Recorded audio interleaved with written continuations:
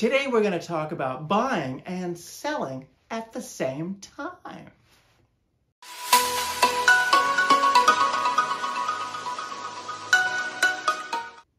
Hey, this is David Kline Lovett, broker owner, Next Home First Choice Realty. Be sure to subscribe if you're new to the channel. I post new videos each and every week to make real estate easy for you.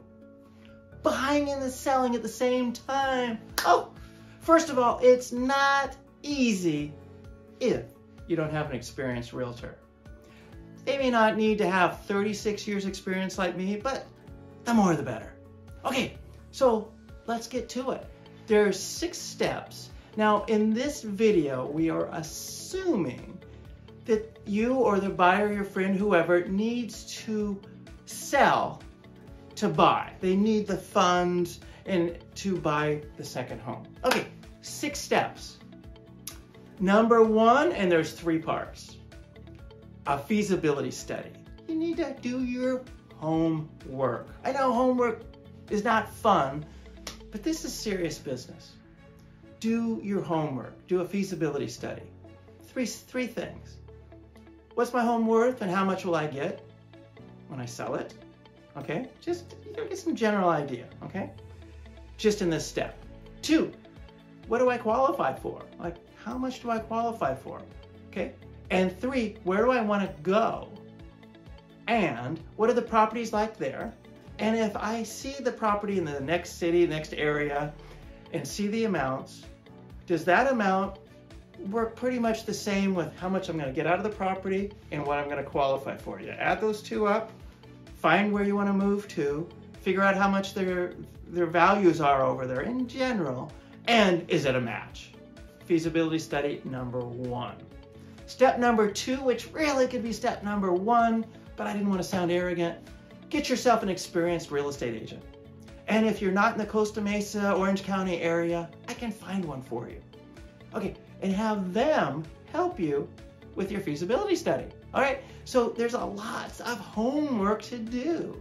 And do not, I repeat, do not rely on the Zillows and all of these automated estimators of value. They're generally wrong. So get your, get your realtor to help you out with that. Another big caveat. Most people think, and I used to think the same thing, a buyer or seller had to and only would hire their agent on the night or the day that they're going to list the property for sale.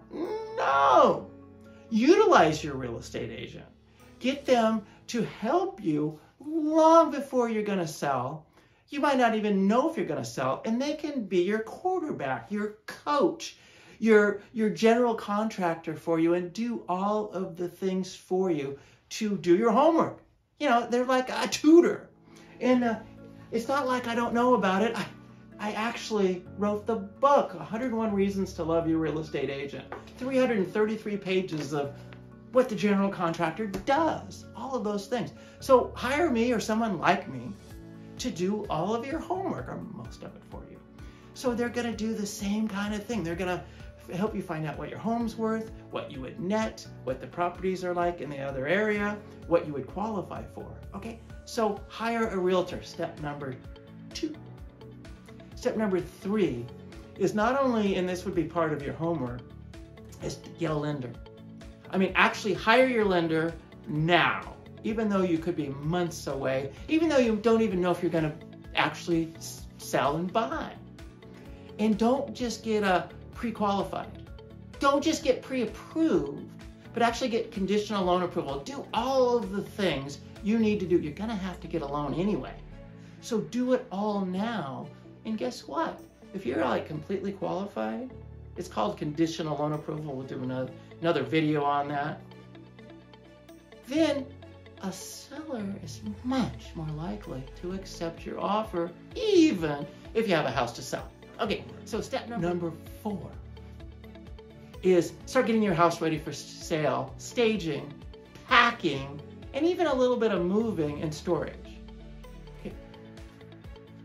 If you, you can make thousands of dollars more, tens of thousands, if the home looks good.